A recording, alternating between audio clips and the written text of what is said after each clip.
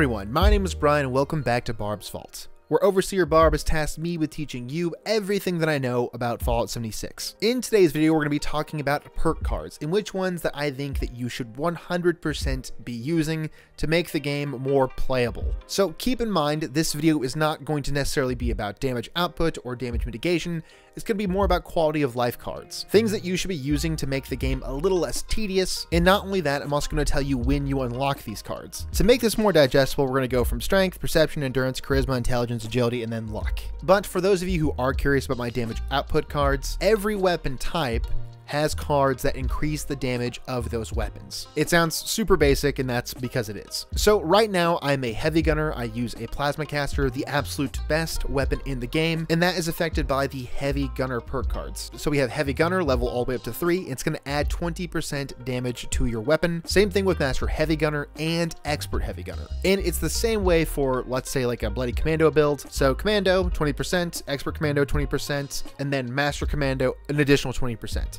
So if you're looking to maximize your damage output, you need to find the cards that are specific to your weapon type. And like I said, there's a card for each type of weapon. If you're like me when I first started playing the game, I found some of the early game mechanics to be rather, let's say, annoying. So here is Brian's big list of number one quality of life perk cards to have. So the thing to keep in mind when you're leveling up these cards is there's not a set level that you then have to hit again to unlock the next star of that card. So when you unlock, let's say Hard Bargain at level 7, then level 8 9, you could upgrade that card all the way to the full 3 stars. You don't need to get to level 10 or 12 or whatever to level that card up. Okay, and so for my fellow heavy gunner builds out there, I also use lock and load in strength. Heavy guns reload 40% faster. So I'm not really willing to let go of the damage cards, you know, like the master heavy gunner, heavy gunner, and expert heavy gunner because those are so crucial to your damage output. But the plasma caster reloads so incredibly slow. So if I could level up this card all the way to three stars, reload heavy guns 60% faster, that would be fantastic, but kind of a must have if you're a heavy gun user. So if you are a commando build and you're using things like a handmade, a combat rifle, or a fixer, bandolier at level 2, ballistic weapon ammo weighs 90% less. So that's one of those cards that is really going to mitigate a ton of your problems basically right off the jump, and you unlock bandolier at level 22. Then we have pack rat, which you unlock at level 7, and at its maximum, the weight of all junk items is reduced by 75%. You know, if you're just going around from dead body to dead body and you're just collecting everything, maybe have this one equipped at all times. But if you're doing something very specific, if you're looking for a lot of a very specific type of junk, and that's like your goal for the whole evening that you're playing, probably pretty good to equip and unequip.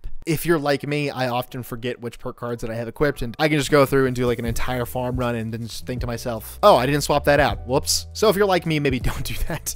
Then we have Green Thumb, which you unlock at level 4. Reap twice as much when harvesting flora. Things spoil in your backpack, so Good with Salt is going to mitigate a lot of that, but I don't find that when I'm going out to get like Mothman eggs or brain fungus, cranberry, or gourd, that I need to collect a ton of that all in one go because, like I said, it does expire. So I would recommend Green Thumb if you're just trying to craft XP buffs for you and a couple friends, or if there's something on the scoreboard that is specific to gathering a certain item. So then in Endurance, we have Chem Fiend. Any chems you take last 100% longer, and you unlock this card at level 23. This one is super crucial if you're doing like an XP run in West Tek. You take Berry Mentats, and they're going to last 100% longer. Another pitfall that I find a lot of newer players falling into is they want to immediately put stuff in their strength category to try and mitigate being over encumbered, and I totally understand that. But the thing to keep in mind, there are a lot of other cards that you can use that are not in strength specifically to mitigate that on its own. So I always encourage people to use Radicool. The greater your rads, the greater your strength, max plus 5 to strength, which you unlock at level 38. So this is not going to give you special points to a lot to strength. It just gives you that as a bonus. So you can see here, I've got strength up to 11. Technically it's at 16, but those five additional points I cannot then use to assign brand new perk cards to my strength slot, if that makes sense. So right off the bat, I feel like we need to talk about the charisma perk cards because you unlock a lot of these very early on. So number one is probably going to be inspirational. When you are on a team with others, gain 50% more XP, kind of your stock standard entry level XP boost card, and you unlock unlock this card at level 2, so you can get this immediately after leaving the vault. Next up is Hard Bargain. Buying and selling prices at non-player vendors are now much better, and you unlock this card at level 7. Then the other card in Charisma that is just kind of a must-have, especially if you use mutations, and you should be, and I'll have a link to a video that I did on how to get said mutations. And then we have Strange Numbers, which you unlock at level 42.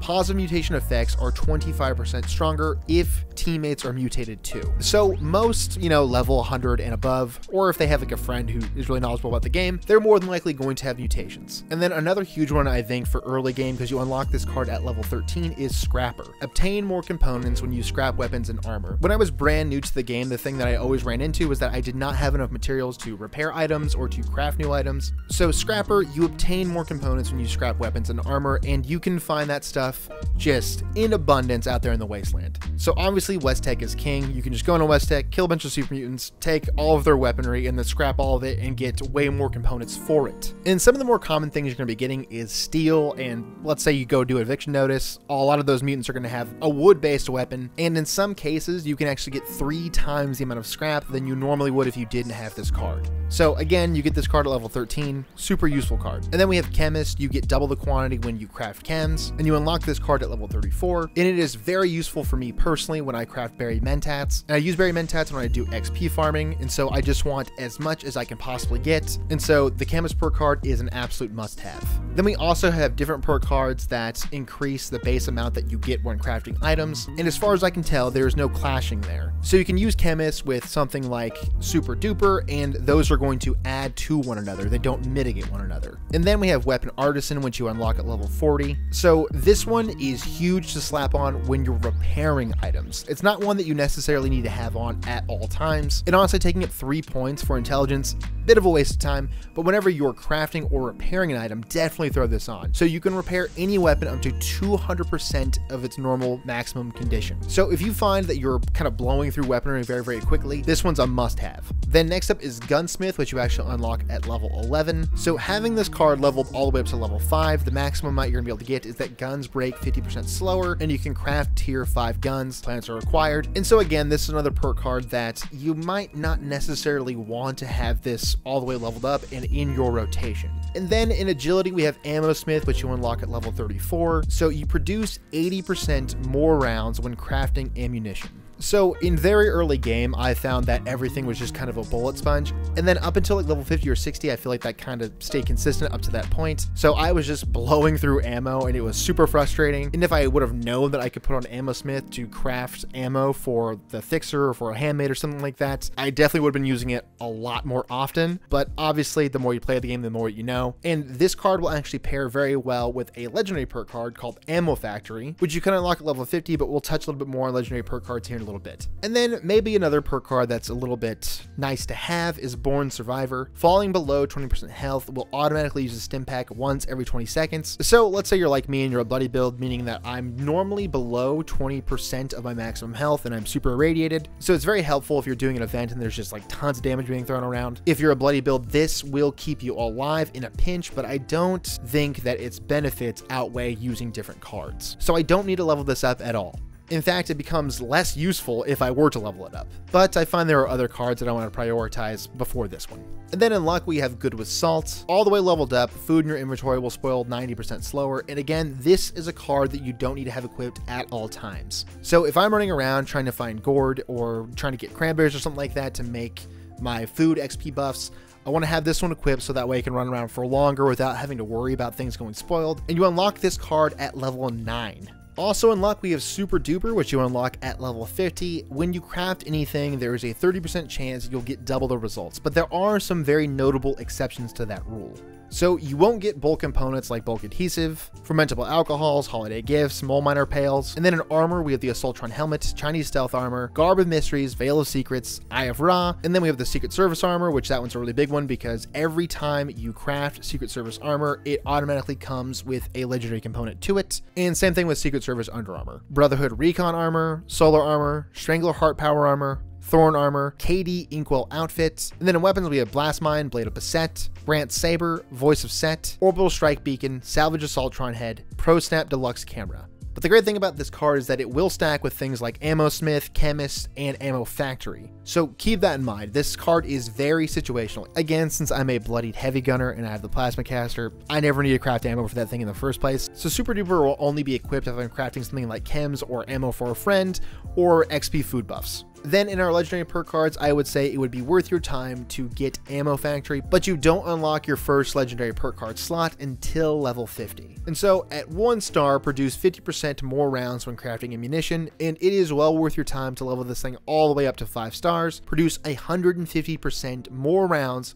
when crafting ammunition. So you sack this with Ammo Factory, and you're getting 4.5 times more crafted ammunition. So again, this stacks beautifully with Ammo Smith. And like I said, the point of this video was about perk cards that make the game more enjoyable to play and ways to mitigate some of the more tedious aspects of Fallout 76. But I will be doing a more in-depth video on the damage output and damage resistance cards because I think that's like a whole other large topic to touch on. That's why I didn't touch on it too much in this video. But as I always say, I have a ton of hours in this game, but I am by no means the end-all be-all say of all the knowledge involving Fallout 76. I'm sure there's to be some great comments down below that are referencing perk cards that maybe I'm not thinking of, or ones that I maybe didn't think there was a lot of utility in, but I could be wrong. So make sure you check the comment section down below. A lot of great veterans in there giving lots of great advice.